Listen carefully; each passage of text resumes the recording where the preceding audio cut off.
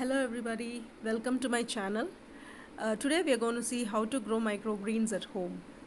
So let's get into the so here I've taken two empty containers. One I've made holes, multiple holes and the other one is without holes. So I'm going to place this uh, container with holes beneath uh, above the uh, container without holes. So the uh, main reason behind is to hold water. So uh, I'm, I'm putting uh, two handfuls of coco peat. Coco peat is something that is easily available in nurseries. The reason why I chose coco peat is that uh, it can store water and uh, it is in it will be uh, infections. It will keep infections at bay. So I'm also planting some other. Uh, uh, I'm, I'm also sowing some other seeds. So I've taken multiple containers. Now I'm taking. Um, I've soaked green gram and I let it to sprout and I'm adding a layer of sprouted green gram there. Uh, I'm making sure that it is not overlapping uh, because uh, uh I, I want a dense growth but I don't want it to uh, some uh, seeds to not have enough space to grow. So I'm just adding a thin layer and over that I'm just adding a small layer of coco peat and then I just water it gently. I make sure that I water it every day. So here I've taken another uh, container and, and I'm going to plant mustard. I'm going to sow mustard. So again same procedure. I've taken just two handfuls of coco peat and I'm spreading it evenly evenly like this yes I'm, I'm spreading it evenly uh, and then I'm just going to yeah now I'm going to spray a little bit of water just to have some moisture because I've not soaked the mustard seeds.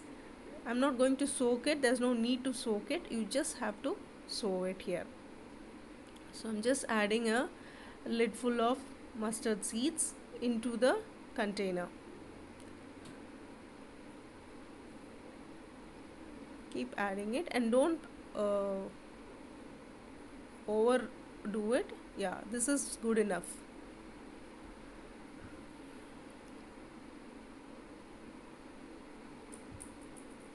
I'm adding a layer of coco peat just to cover just enough to cover the seeds. And we are good to go now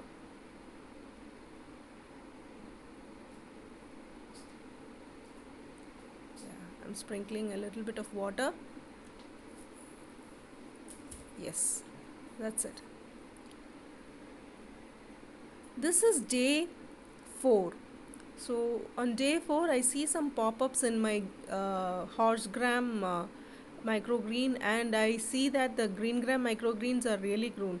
It's one other tip is um, sprouting letting it sprout. So it helps the green gram grow better and this is the mustard seeds that we uh, sowed.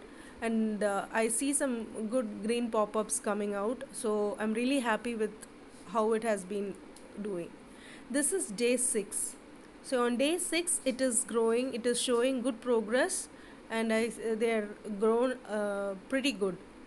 These are horse gram microgreens.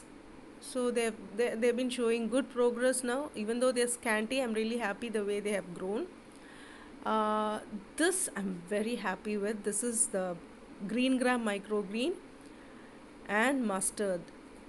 Yes they're doing really good. So this I'm really happy. This is the final uh, result of green gram microgreen. This is really good. This is showing a, this has shown a very good progress. Yes